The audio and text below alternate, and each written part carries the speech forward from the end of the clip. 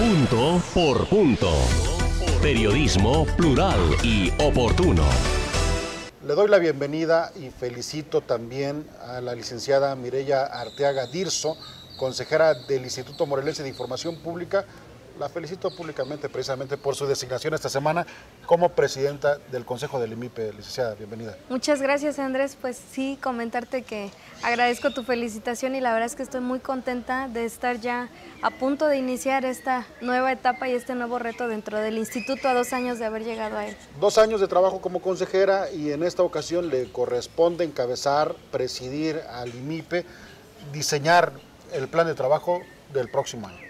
Sí, efectivamente fueron dos años intensos de estar de la mano de los consejeros que en ese momento estábamos. Cuando yo llegué, quiero comentarte que hemos tenido muchos logros en este tiempo. La verdad es que pareciera a veces que no se termina el tema de la transparencia y así es. Tampoco se termina el hecho de tener la responsabilidad de hacer llegar a toda la sociedad eh, el aprendizaje de cómo hacer valer su derecho de acceso a la información.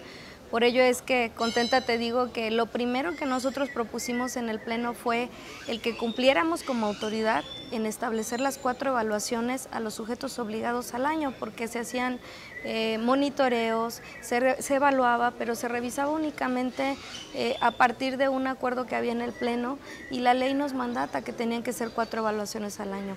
Eh, desde hace más de un año nosotros hemos venido haciéndolo así y tan es así que la calidad en, la, en, la, en el establecimiento de las obligaciones públicas eh, de transparencia de todos los sujetos obligados se ha elevado. sí, así es. ¿Quiénes están eh, en las mejores posiciones en cuanto a cumplimiento y quiénes todavía tienen muchos pendientes en donde a ti te va a tocar trabajar mucho todavía? Sí, eh, bueno, yo comentarte primero empezaremos a lo mejor por, por aquellos que no han podido todavía consolidarse, que son los ayuntamientos. Eh, con ellos hemos trabajado de la mano, varios han elevado el cumplimiento, pero sí hay algunos otros que aún les hace falta, ¿no? Capacitación, apoyo, ¿cómo pueden ir ustedes colaborando con eso? Es una cuestión yo creo que interinstitucional, la verdad es que nosotros lo hemos dicho mucho en el Pleno, si fallan los sujetos obligados es que el IMIP está fallando, entonces por eso tampoco podemos decir que únicamente la institución no lo está haciendo. Eh, nosotros estamos conscientes de que los ayuntamientos tienen muchas debilidades ahorita, sobre todo económicas. ¿Qué pasa?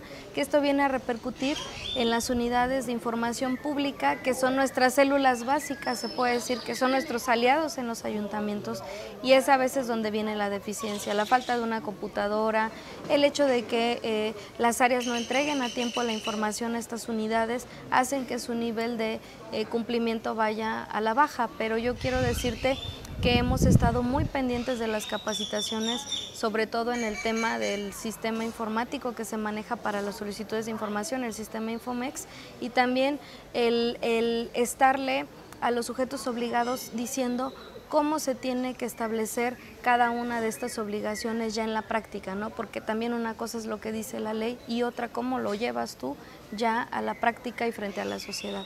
Como consejera que está presidiendo este año el trabajo del IMIPE, Mireya, cuáles son los ejes rectores de tu planteamiento de trabajo y cómo concretarlos. El primero, yo creo que el principal y el básico para tu servidora es la responsabilidad de que el instituto se consolide como el primer sujeto obligado transparente en el Estado.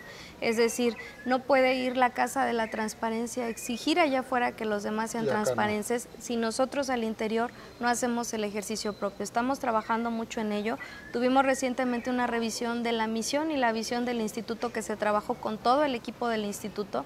¿Para qué? Porque queremos también que todo el equipo de trabajo se sienta parte de este reto, no, no únicamente ir por un trabajo, sino también consolidar ese, esa responsabilidad con toda la sociedad de Morelos. Lo segundo yo creo que es trabajar con honestidad, eh, la honestidad es básica, es la premisa de la transparencia y es lo que nosotros estamos también pidiendo eh, que se consolide en el instituto. Por otra parte, ya hablando de ejes rectores de trabajo en sí, estamos trabajando mucho el tema de la socialización del derecho de acceso y a quién queremos llegar ahorita o el gran reto son los niños y son los jóvenes. Es la educación. Es un gran reto modernizar, actualizar. Sí, la verdad es que yo quiero eh, en este espacio reconocer a quienes han antecedido a tu servidora, porque creo que cada uno en su justa dimensión ha hecho lo que le ha correspondido en su momento. y la ley que nosotros tuvimos en su momento fue llamada una ley de avanzada en todo el país. Por eso es que ahora te digo, el reto es mejorar lo que se hizo y además yo creo que concretarlo en lo que nos marcan los lineamientos de la nueva Ley General de Transparencia. Bueno, pues ya cuando se acerque el proceso de reforma, te vamos a invitar a que vengas aquí a darnos más detalles, propuestas del propio IMIPE, eh, cómo avanzar, cómo mejorar yo para concluir, consejera presidente del IMIPE, te pediría que nos des un mensaje a toda la gente que nos hizo el favor de vernos esta noche. Y bueno, pues nuevamente felicidades porque es una alta responsabilidad presidir el órgano que se encarga de garantizar que todo mundo cumpla con la transparencia y además que los ciudadanos puedan acudir incluso a quejarse en caso de que no se les esté dando la información pública que por ley corresponde. Así es como tú lo dices, Andrés, pues básicamente yo quiero primero agradecerles a ustedes el que me hayan invitado a su programa decirles a ustedes también que el instituto estará trabajando eh, con el mayor de los esfuerzos por consolidar el derecho de acceso a la información y a la gente que nos ve, a toda la sociedad de Morelos, aprovechar para decirles, invitarles a que pregunten, invitarles a que acudan al Instituto Morelense de Información Pública y Estadística y reiterar el compromiso con ustedes y la responsabilidad de hacer del derecho de acceso a la información una realidad en nuestro Estado. Muchas gracias, Andrés. Gracias, consejera presidente del IMIPE, Mireya Arteaga Dirso. Vamos a mensajes y regresamos con más. Esto es, esto es punto por punto. Periodismo plural y oportuno. Regresamos.